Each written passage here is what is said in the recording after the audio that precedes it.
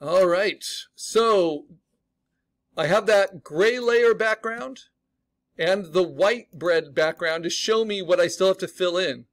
And I use that gray so that you're reminded you have to fill in things even if they're going to be filled in with bright white. You have to cut the glass, put the shape in. So what am I missing? I am missing the leg and I'm missing parts of the helmet, but I've got everything else. So I just need to pick some flat colors. I'm going to do these darks first. Hold down shift, get all of those. Group that in with it. Pick a color, hold down option. Let's do, let's see. I'll steal this dark blue from Captain Crunch. Then I go to flatting, use my paint bucket, and I have to drop it in. And for some reason it didn't capture the color I wanted. So I'm going to hold down option, do it again until it changes it there. I'll make it a little bit darker. Now, when I first started doing it, all I had to do was click once and it filled them all in. That's because they weren't surrounded by other color. But once they're surrounded by other color, you might have to click right within the selections to fill it up. Okay, now the nostril. I want to fill that up with, let's do this dark gray, so I can steal colors from myself as well. There's a lot of advantages to using limited colors, especially in terms of printing. Oh, what's going on there? Yep, that's what I want. Except I want this color. So hold down Option, steal it. Actually, let's do the purple. That could be fun. And in Photopea, I've noticed you have to press Option and then click very emphatically to get it to change the color for you. And you'll see a little color wheel come up when you do it. All right, next. I want a highlight on the helmet. And I'll use a brighter brown. And then I need to select it. There we go. Hold down shift. Let's get all of these. Go ahead and fill that one too. And then dump it in. Come on. There we go. All right, so I have those flats now. Even though they might not be the exact colors I want. But I'm not quite done with flatting. I'm done with the simplest part of it, which is filling in contained shapes. But I've left a few shapes in my line art uncontained, like the tongue here, or the open mouth. You see how it's open? So how do I now change that? Well, then I go right to my flatting layer and I use my lasso. And what I do is I draw with the lasso and contain a shape. And what's nice about the line art is I can draw right within the line art, right? So I don't need to make it particularly clean. I just have to stay behind the line art. And now I'm going to pick a different color. So I'm going to use my lasso or my uh, paint bucket. I'm going to choose the pink drop that in. And now this is what my flats look like. If I turn off my black line art, every flat is surrounded by white space. If I turn off my white bread, you'll see it with the empty pixel grid. But where I don't have distinctions in the line art between colors, the colors will bleed right into each other. But that's still helpful because I can change those easily just with the the paint bucket. The other place I have an opening where I might want more color variation is on the plumage here. I have an opening there and there. So what do I do? I use my lasso and I follow inside of the black line art. That's why thicker line art is sometimes easier. And of course, you can always modify selections. the lasso tool becomes an important tool in coloring. So I'm going to add to it by holding down shift. And now I'm going to change that to a slightly different green. Hold down option. There we go. Plug that in. Come on. There we have a slightly different green. Now, what if I just want to use my lasso? Well, I won't do it yet, but I can, I can make different coloring options. Now, what color just seems a little bit strange? Probably this brown, right? And I, I did that to show you, just to finish off the last ones, I used that same kind of light brown for all the remaining shapes. I'll show you on white. So how can I change that easily? I don't have to go back to the black bread layer and select that shape anymore because in the flatting layer, that's already an isolated shape. So all I need to do is use my paint bucket and just choose a different blue and drop it in. Same thing for the fingers. I can just drop that right in.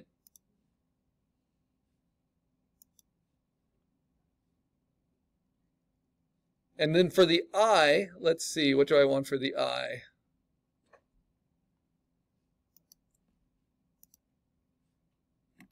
I like the yellow. It looks very very in keeping with cereal.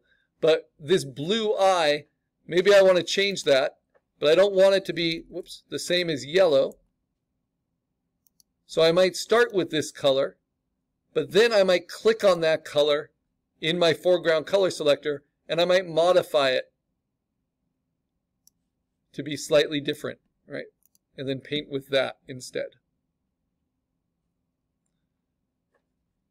All right, so now I've got my basic coloring. And whether you consider this flat color or a local flatting color or local color is dependent on how I actually want this to look in the end. But it's filled in, and that's step one. So, how do I save this now? I save it, if I'm going to put it up to to Canvas, I first have to save just my line art, right? So I'm going to save my line art as a PNG, export as a PNG, turn every other layer off. I'm going to move that to my desktop, and then I need to rename it because this is just the line art. It's not the full color.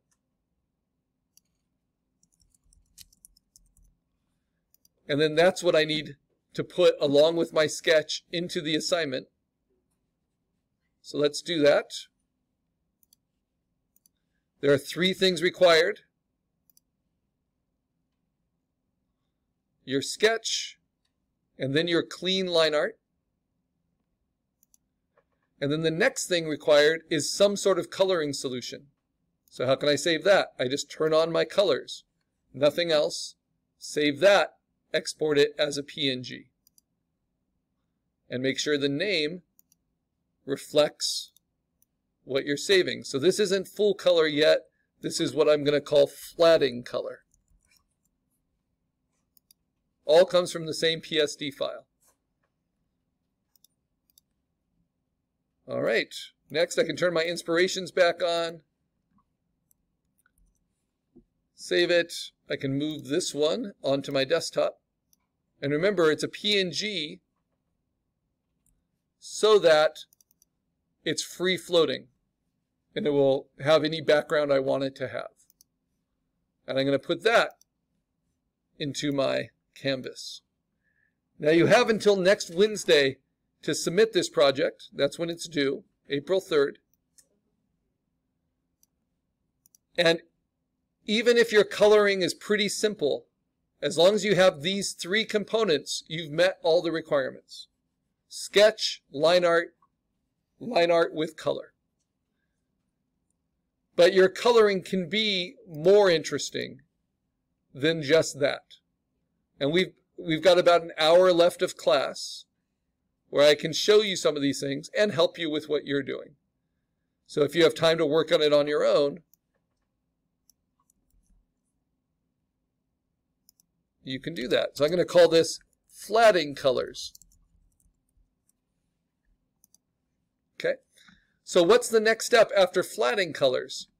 Well, then it's actually figuring out what are the colors that are local. So local color means the color that the thing is. And flat color can be the best color option for your finished spot illustration as long as you choose the right colors.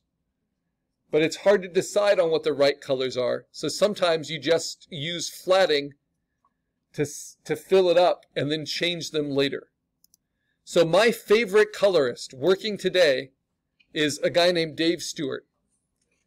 And Dave Stewart works for all kinds of different artists as a colorist, but he's most famous for working with Mike Mignola on the Hellboy series. This is Dave Stewart doing flatting.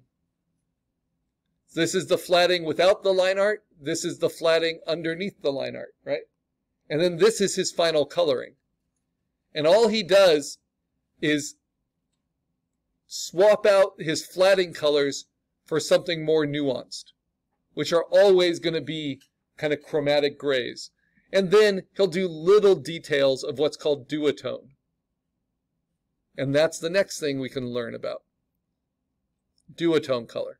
Duotone is when you split the local base color, like a skin tone, into lights and darks, like a, that stained glass I passed around.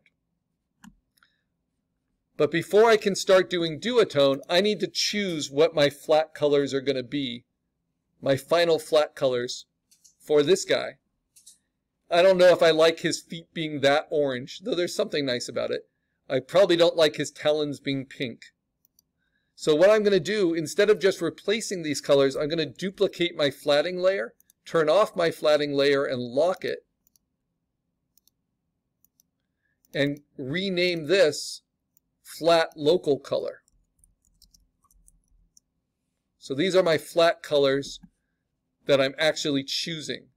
And for this, I'm going to be a little pickier.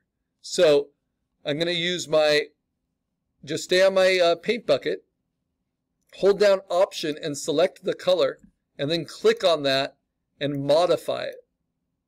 So what color do I really want his beak to be? Maybe a little bit rustier, and maybe a little bit, just slightly oranger, and then drop that in. And then I decide, Command Z, do I like that? Do I not like it? Do I want something in between it? Or use my history? Because this is going to be the average color of that beak. So let's brighten that up a little bit.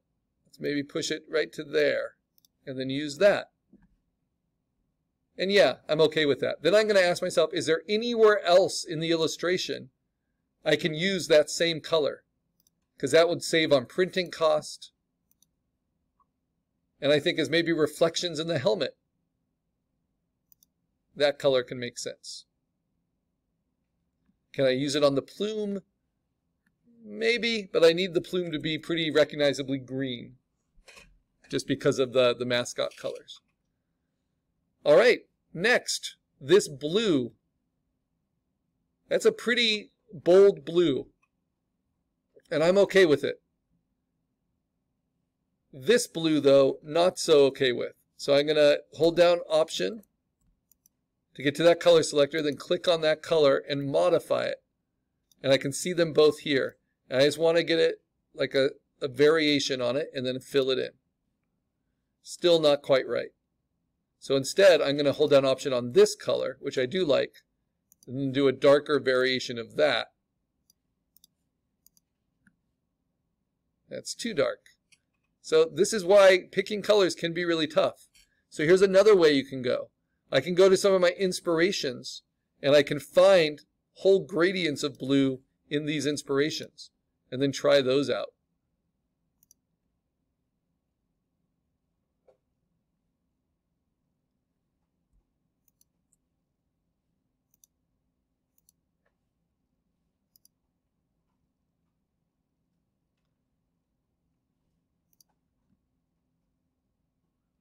And then I can always modify those as well. But let's go, go ahead and go pretty dark. And then let's modify it. There, I like that.